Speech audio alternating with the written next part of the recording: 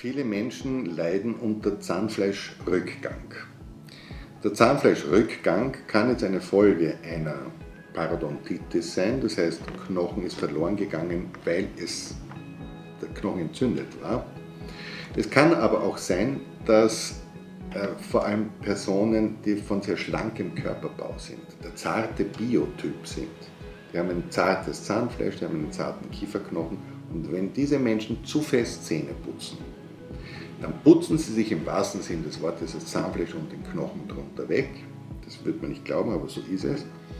Und dann liegt plötzlich ein Anteil der Zahnwurzel frei. Das Zahnfleisch hat sich zurückgezogen, der Kieferknochen hat sich zurückgezogen und jetzt haben wir freiliegende Zahnhälse da. Häufig ist die äh, Reaktion, ich muss noch fester putzen, damit das, der Defekt, der da sichtbar ist, äh, auch wirklich gut gereinigt ist und damit wird das Ganze immer schlimmer, immer schlimmer. Solchen Patienten rate ich erstens eine Schall- oder Ultraschall-Zahnbürste zu verwenden, weil da schwingen die Borsten und es wird nicht gerieben, sondern die Schallwelle, die Wasserwelle, die dadurch entsteht, hat genügend Energie, um das alles zu reinigen.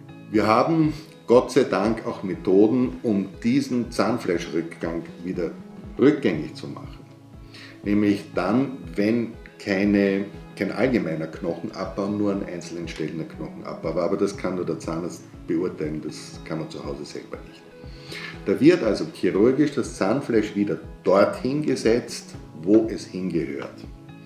Und jetzt haben wir von Patienten und vor allem Patientinnen gesprochen, die es einfach vom Ästhetischen stört. Total verständlich, dass die Zahnhälse frei liegen.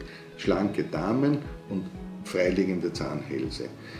Äh, da macht man dann folgendes, dass man ein Bindegewebstransplantat oder ein Schleimhauttransplantat aus dem eigenen Mund nimmt, an die Stelle versetzt, wo, der, wo, der, wo die Zahnwurzel frei liegt, das einnäht und hinein operiert und dadurch wird das Zahnfleisch dicker.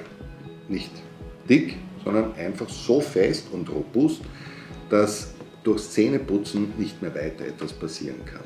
Also eine wirklich tolle Methode, man nennt das Mukogingival Chirurgie oder auch Zahnfleischlifting.